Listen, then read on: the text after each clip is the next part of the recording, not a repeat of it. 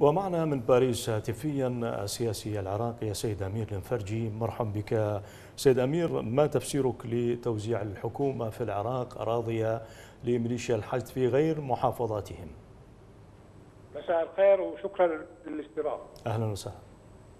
شيء طبيعي يعني آه، الموضوع هو موضوع يعني آه، غير طبيعي آه، بامتياز. عندما تكون هناك يعني مشكلة طائفية في العراق وبوجود نظام طائفي. ومن خلال هذا النظام الطائفي يتم يعني وضع طوائف في مكان هو في غير مكانها يدل على أن هناك نية يعني.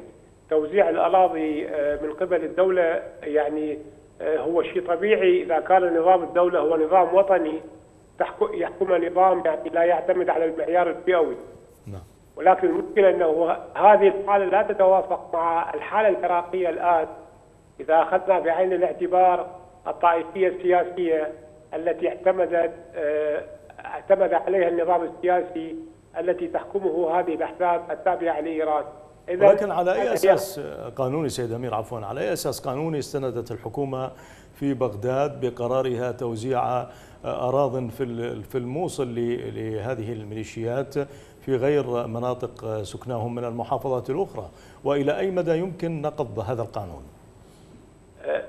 إذا نرجع للقانون هو القانون يعني كانت بدايته عندما آه، يعني آه، صوت على ما أعتقد في 2017 في بداية سنة 2017 نعم. وقد وافق عليها آه، القائد العام للقوات المسلحة ولكن القانون كان ينص على أن توزيع الأراضي سيكون لكل يعني شخص وحسب المنطقة التي ولد فيها.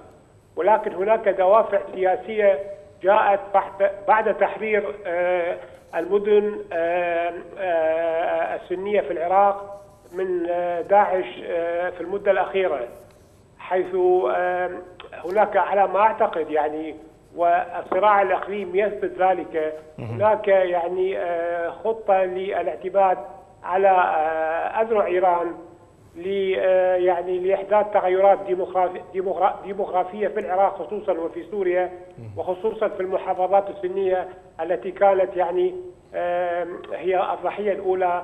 للإرهاب الداعشي في العراق. هذه أهم الدوافع اذا السياسية، طيب بحسب مدير شؤون المسيحيين في كردستان أعداد المسيحيين تناقصت في منطقة سهل نينوى. برأيك ما أهمية هذه المنطقة لمشروع التغيير السكاني أو ما يسمى الديمغرافي للحكومة وأن يقف وراءها قبل كل شيء هناك صراعين يعني في في مناطق سهل نينوى التي كان يسكنها العراقيون المسيحيون في العراق. ولكن على ما أعتقد والخلاف الأخير الذي حدث بين يعني الاحزاب الحاكمة في العراق وبين